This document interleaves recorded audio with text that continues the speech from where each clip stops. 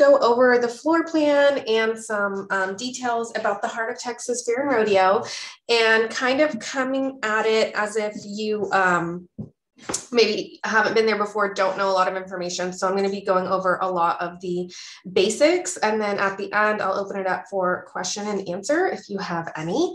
Um, so and after we finish this, I'll post the slides and a recording of this online so you can reference it. So don't worry about writing every single little thing down because you can download it after the uh, meeting is over.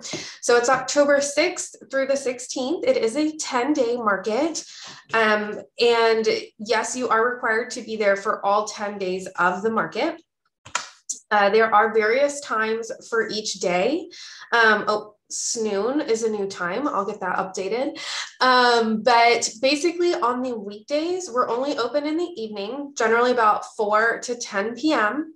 And then on the weekends, it's noon to 11 p.m. One thing that I want to say we learned from last year is you don't want to be the person that's like it's 9:55 and I'm going to walk out the door um, do you realize that the concerts still go on for one hour after the market closes. So it's not like everybody has left. There will still be shoppers in the building, and we, along with security, have to push all those shoppers out um, and then actually lock the building. So um, rodeos have this rodeo has about 250,000 attendees who come. So theft can be an issue. I'm not going to lie. Um, petty theft, little pickpocketing. So, the one thing you don't want to do is make yourself a target by being the first one to leave while there's still shoppers in the building. And typically, at that closing time is when we would have you know the theft issues come up because again booths are unattended so just keep that in mind you're not going to want to be the first one to leave you'll probably be there 15 to 20 minutes after closing time the event itself is held at the Extraco Event Center. Um, it's really a cool event. Um, it's very well established in the area. It's been going on for about 65 years. So it's everything you would think of with a fair rodeo. They do have um, the actual rodeo, livestock, bull riding, barrel racing, all of that good stuff, um, an ag show the midway with the rides they're very much known for their fair food which is a lot of the you know like fried foods and um, turkey legs funnel cakes all that kind of stuff. People really come to this event to get their fix on the fair food. Um, and then of course the shopping market the vendor market which is this is the second year that big top has been doing the big shopping expo with them. Our event is all inside in a brand new really beautiful building and then just to give you kind of a, a visual of where Waco and where the event is located, it's just outside of downtown Waco. Um, and it's, I believe it's about a two hour drive from North Houston where I'm located. So it's not too bad. Now here is the floor plan. And so this is kind of the big view where you can see outside and inside. So if you were to park most customers are parking over in this area. There's a big field here, and that's where exhibitors are parking as well. Then they'll walk. This is the front of the building, of the base where we are located, and the front of the event. There's some VIP parking down here, um, closer parking that's paid. And then where it says gate and gate, this is the entrance gate and this is the exit gate. So most, a majority of the attendees of the fair and rodeo will be coming through this gate. So we get a shot at 100% almost of the traffic as they enter and as they exit.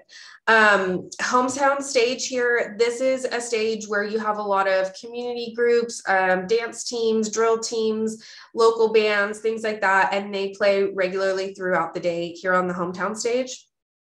These three purple DHQ booths. These are boutique trucks and trailers. So if you're wanting to bring a truck or a trailer, we have three spaces available. And then DH1, 2, and 3 are 10 by 20 outdoor booths. Um, you can bring your own tent, or we can coordinate to have a tent provided for you at an additional fee. Um, and we can bring out 10 by 20 tents. So, right here where it says entrance, entrance, entrance, this is the main and really the only entrance into the base building where the Big Top shopping pavilion will be located. So, 100% of your traffic into the market will be coming in from this way.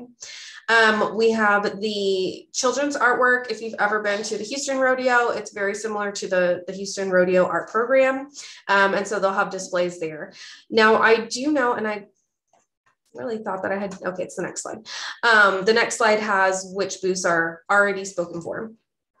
Um, so we do have a couple in this section, which is definitely the highest traffic, medium traffic, and the least traffic. And you can see how they're color coded. We did that intentionally. So your pink, purple, um, booths are going to be premium pricing. So they are a little bit more expensive, but because you are getting front of house, you're getting more traffic. And I'm telling you from experience here that that is where you want to be. You do want to be in a premium placement if you can. If you're not really sure if the rodeo is right for you and you're trying it out for the first time, then you might go with the standard placement, which is further in the room. So you do have to imagine people have to walk all the way over here. It's a little bit less traffic. Um, but again, we've adjusted it with the savings. Um, and then Farm Bureau, that's a big display by a Farm Bureau insurance company. And um, it's very interactive, like kids area. Um, there's a kid zone over here with different games and, and such that they bring in. And then we'll also have like a race car um, game going on, probably up in this area. Another thing that's new this year are these BA one, two, three, and four down here, the turquoise.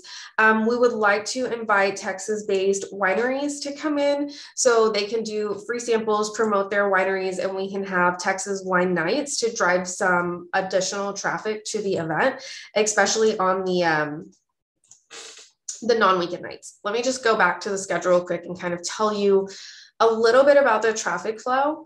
So, just like everything, weekends are always going to have higher traffic just in general because of people's lifestyles.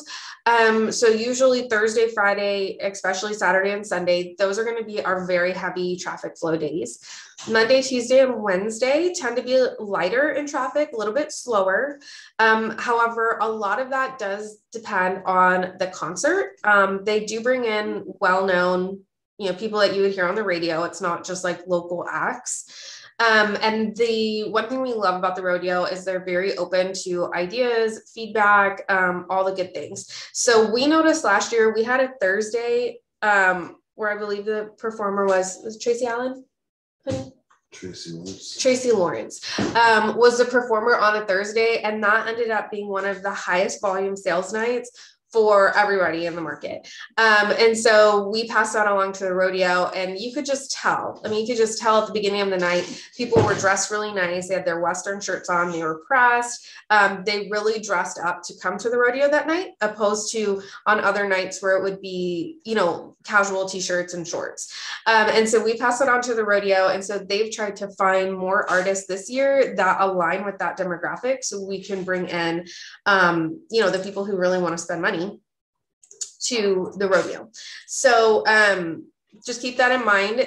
And so that's what we're trying to do with the wineries is bring in some other things that can get people excited about coming out to the rodeo during the weekdays on the slower nights. These little tables down here, these turquoise, um, these are just going to be like lounge tables because everyone at these big events is always looking for a place to sit down. We are, I believe, we are the only air conditioned building in the rodeo. Even I'm pretty sure that the Coliseum where they have the rodeo is not air conditioned. It just has fans. Um, so we also have the only like indoor bathrooms. The Coliseum does have indoor bathrooms as well where the rodeo is, but we're one of the only places that has indoor bathrooms. So we want to promote that as well to get people to come in. Now here is kind of the work in progress, the whip of who signed up and where they are right now. So we do have these five spaces available here at the front those are prime locations. Like once those are gone, those are gone. This whole block is really honestly, if you had a first choice on where you want to be, that would be it. Um, I'm gonna check on this AB6. I didn't have time because I thought that I saw that one got sold, but it didn't come up on my report this morning. Um, and then here, the middle section, this is great because you do have bathrooms here. So if someone comes in, they can go around the hallway and they can enter the bathrooms this way. This will be a concession stand by the rodeo. Um, the concept that they're thinking of right now is very similar to the, um, like what you would find at Starbucks. So cold sandwiches, cold salads, things that are ready to go and you can just grab and go candy bars, I'm sure, chips and drinks. So we'll also have the concession here, and then we'll have the wineries to help pull into this middle section here. And then uh, this side will be more of, like I said, the race cars, the kid zone, and these are the standard price booths. So they are, like I said, a little bit cheaper. now, um, this year, pipe and drape, black pipe and drape, and electricity is included in the price for everyone. So you don't have to worry about getting an upgrade on that. However, you guys know how strongly I feel about is displays, exhibitor booth displays. So this is just a backdrop um, really to help divide booths and to help with line of sight. So I still strongly encourage everyone to bring their own custom backdrops, to bring their full setups and displays. Um, we have an entire Pinterest board dedicated to vendor display ideas, places where you can buy ready-made items, um, different displays, and also DIYs if you're crafty DIY display ideas. So I recommend you can go to Big Top dot show slash blog. So big top dot show slash blog. And you can look for our display zoom meeting that was last week. The recording is up. The pinterest link is there. I also link you to a bunch of places where you can purchase um, display items that i recommend because i'm telling you guys display is 50% of your sales. So if you want to double your sales this year let's step up the game on display and i guarantee you you will be successful all right, exhibitor parking. Um, so everyone will be given one free pass, uh, basically per registration, right? So one pass per exhibitor space. Um, and that will get you free parking for the entirety of the event. Um, we park with customers, okay, in a general parking lot. So that pass gets you free into the lot, but it does not get you like pre assigned space or anything like that. So again, it's like if you show up five minutes before the market and the rodeo opens, you are going to be, you know, probably in the middle of the parking lot with all of the customers. If you want that front row parking, the least amount of walking, then I recommend you show up on time, you show up early 30 to 45 minutes before we open. So that way you can get parked in a very close spot. You can walk into the building, you can get yourself opened up and relaxed, and you're not scrambling because you only gave yourself five minutes to get into the building. Um, additional exhibitor passes are available. They are discounted, um, so you don't have to pay per day. You can buy a whole, what they call a season pass, and that'll get you parking for the entirety of the event. I don't really remember off the top of my head or know what the price will be this year, but I believe it was somewhere between like 25 and $40 for that parking pass last year.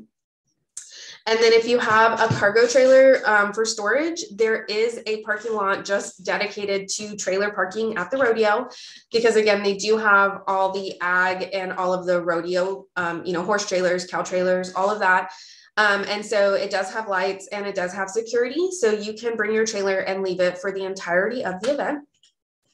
Lodging, I highly recommend if you're like, I'm going to do the Heart of Texas Fair and Rodeo, book your lodging now um, you would be surprised, but lodging in Waco, it fills up very fast.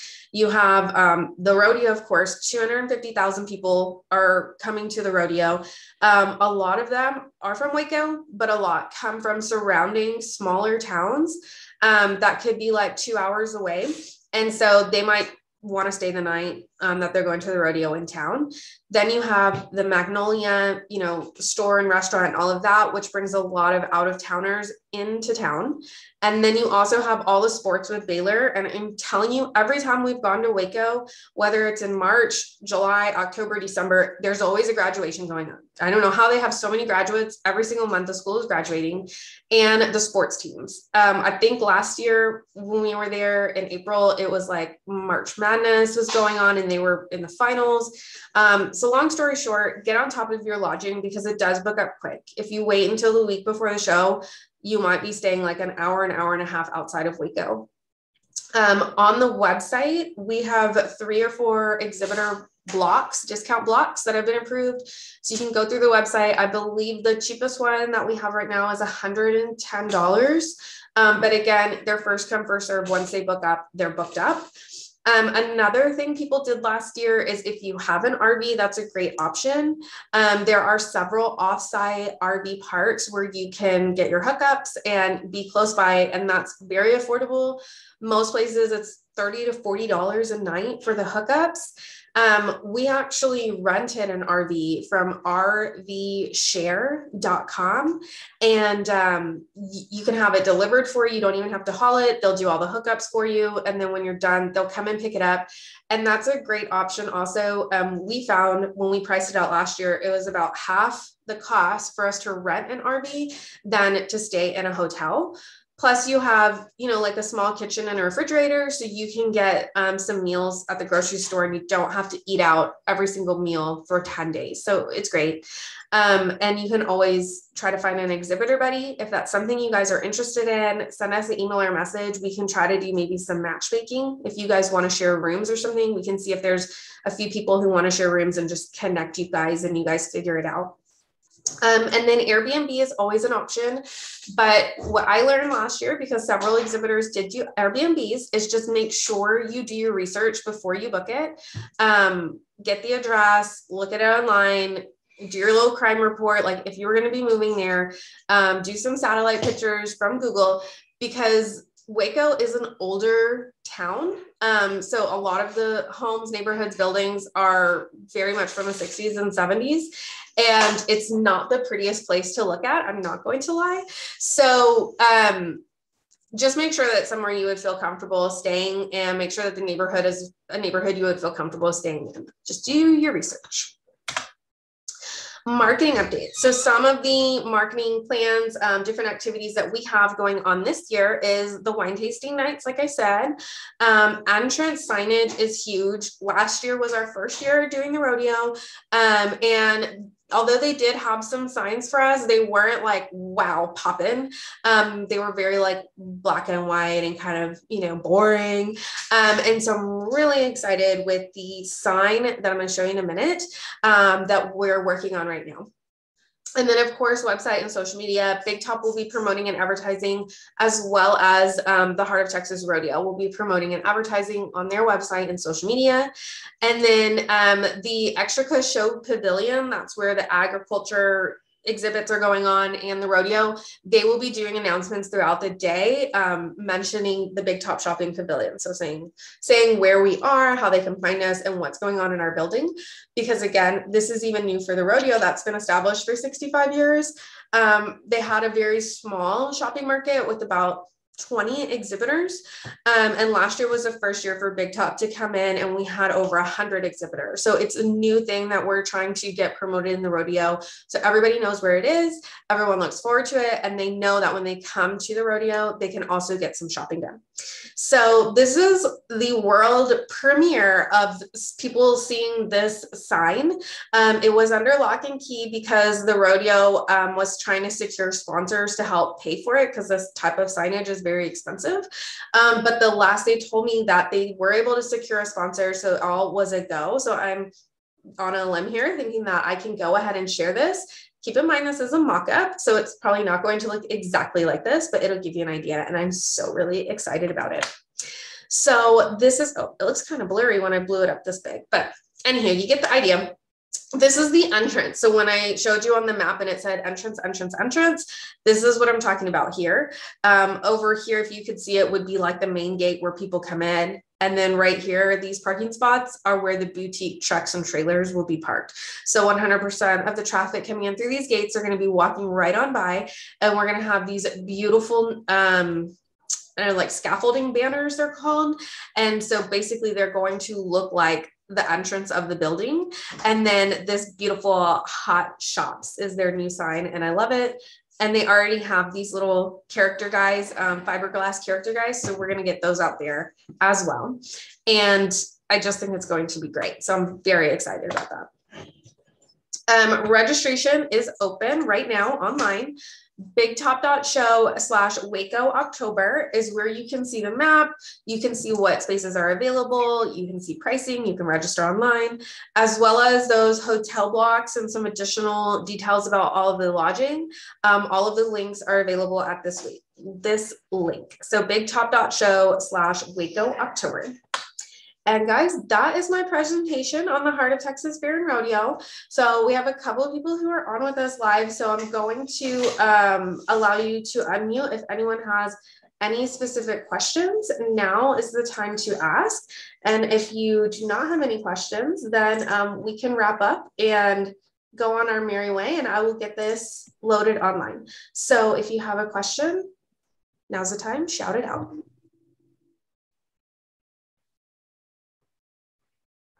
All right, guys. Well, if there are no questions, we'll go ahead and wrap up. I'll get this loaded on the website and send it out to everyone. If you do have questions, feel free to reach out.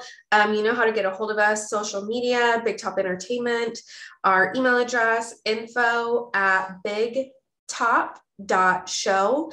And you can always call our office as well 936 900 1900 i look forward to seeing all of you guys at the next event and especially at the heart of texas fair and rodeo.